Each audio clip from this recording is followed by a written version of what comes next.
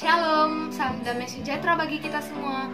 Lion Kids Philadelphia, Light of the Nation Kids, berakar dalam firman, bertumbuh dalam iman, berbuah untuk Tuhan, dan menjadi berkat. Haleluya. Sebelum kita membaca firman Tuhan, marilah kita berdoa terlebih dahulu. Tuhan Yesus, terima kasih buat semuanya yang udah Tuhan kasih sama kami Tuhan. Dan sebentar lagi kami ingin membaca firman-Mu, biarlah apa yang kami baca dan kami dengar bisa dapat kami ingat dan dapat kami lakukan dalam kehidupan kami sehari-hari. Dalam nama Yesus kami berdoa dan selalu mengucap syukur. Haleluya. Amin. Pembacaan firman kita kali ini terambil dalam Mazmur 36 ayat 1 sampai 13. Saya akan membacakannya. Kefasikan orang berdosa dan kasih setia Allah untuk pemimpin biduan dari hamba Tuhan dari Daud. Doa tertutur di lubuk hati orang fasik. Rasa takut kepada Allah tidak ada pada orang itu, sebab ia membujuk dirinya, sampai orang mendapati kesalahannya dan membencinya. Perkataan dari mulutnya ialah kejahatan dan tipu daya. Ia berhenti berlaku bijaksana dan berbuat baik. Kejahatan dirancangkannya di tempat tidurnya.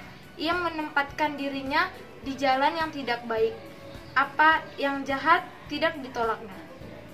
Ya Tuhan, kasihmu sampai ke langit, setiamu sampai ke awan. Keadilanmu adalah seperti gunung-gunung Allah. Hukummu bagaikan samudera raya yang hebat. Manusia dan hewan kau selamatkan, ya Tuhan. Betapa berharganya kasih setiamu, ya Allah.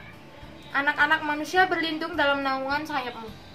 Mereka mengenyangkan dirinya dengan lemak di rumahmu.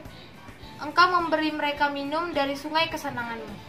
Sebab padamu ada hayat, di dalam terangmu kami melihat terang.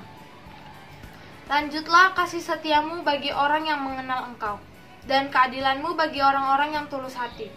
Janganlah kiranya kaki-kaki orang congkak menginjak aku, dan tangan orang fasik mengusir aku. Lihat, orang-orang yang melakukan kejahatan itu jatuh. Mereka dibanting dan tidak dapat bangun lagi. Demikian pembacaan firman kita kali ini. Mari kita bersatu dalam doa.